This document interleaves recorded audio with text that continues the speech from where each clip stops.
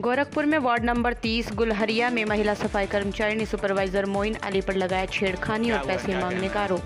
आपको बता दें इससे पहले भी सुपरवाइजर पर पैसे वसूलने के आरोप लगे थे जिसकी सूचना अधिकारी को दी गई थी लेकिन अभी तक सुपरवाइजर के ऊपर कोई कार्रवाई का न होना।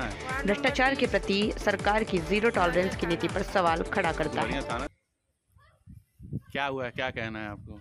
कहना है कि कर्मचारी के हमरे लग गए स्कूटी रोक देना है हाथ पकड़ लेना कौन सा वार्ड कौन सा है आपका? वार्ड नंबर कितना है? वार्ड नंबर तीस गुलहरिया थाना। गुलहरिया थाना नहीं गुलहरिया वार्ड है। गुलहरिया वार्ड। सुपरवाइजर कौन है आपके? मोयली मोइन अली। मोलनी क्या हुआ है? क्या हुआ? वहाँ का काम कर रहे हैं ना तो वहाँ जो जाके हमारे आगे स्कूटी रोक के हमारा हाथ पकड़ के कहे चुम्मा दो वो कर्मचारी चुम्मा दो।